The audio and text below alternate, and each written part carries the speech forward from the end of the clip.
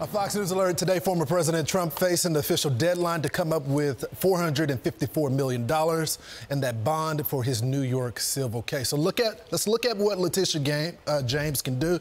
She can freeze the bank accounts, which some people expect that she may try to do.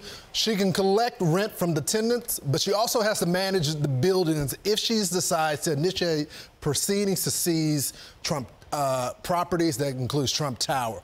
Also, this is a big factor, right? Potentially target properties outside of New York. That means she would be going after Mar-a-Lago. All right, what is the president's, the former president's options? He can appeal to the higher court. He can sell some of his properties to raise some funds. He can seek financial assistance from some of his wealthy friends. He has a lot of them. Or he can sell the stock from Truth Social. Now, that's expected. Some analysts are saying to go public sometime this week or he can do the nuclear option and file for bankruptcy. Let's uh, go to Jonathan Turley. He's a GWU law uh, professor and he, uh, analyst for Fox News. Jonathan Turley is joining us right now. So, Jonathan, I guess what do you expect? You've been following this case, but you've also been a lawyer for a long time. What do you expect to happen today?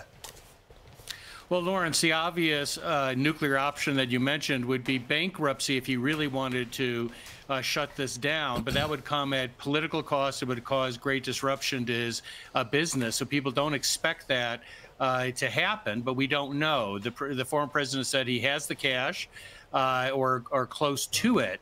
But we are still all left in limbo here. His attorneys have said that the judge's figure makes a bond virtually impossible, according to them. You know, he could have said a trillion dollars. He could have mm-hmm. said, "Bring me lava from the surface of Mars." Their their view is, uh, we can't do that because you can't float a bond uh, without cash, and this is a real estate business.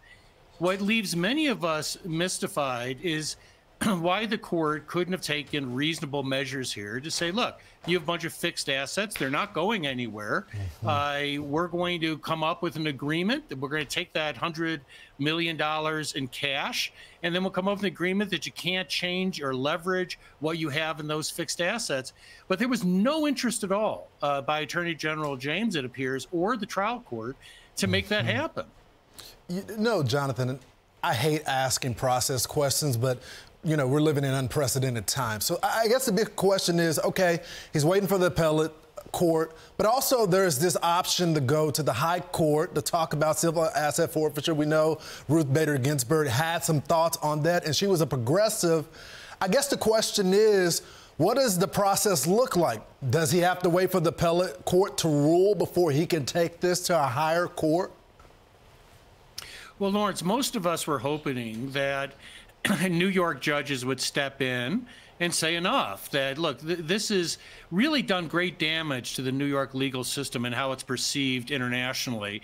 Uh, th- this is thrilling for many people in New York who after all elected James on a pledge to bag Trump for something. So mm-hmm. this is obviously playing well to the New York base. But outside New York, and particularly international businesses are looking at this I think with a degree of horror that a judge could come up with a figure so large you have to sell parts of your business just to get an appeal.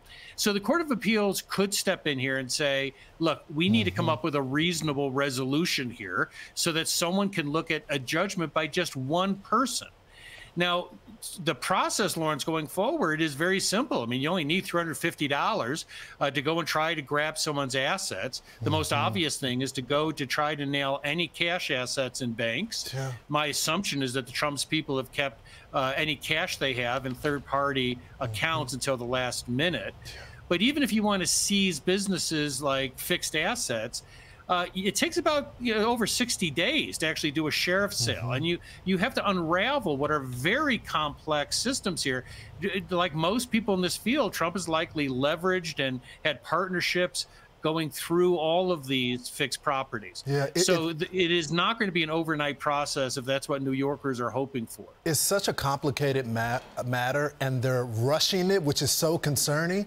And you, and I just got to ask the question: There's 27, I think, uh, Republican attorney generals. What if they start targeting Democrats? I mean, that, that's not how we want our justice system to go. Jonathan Turley, thanks so much for joining the program.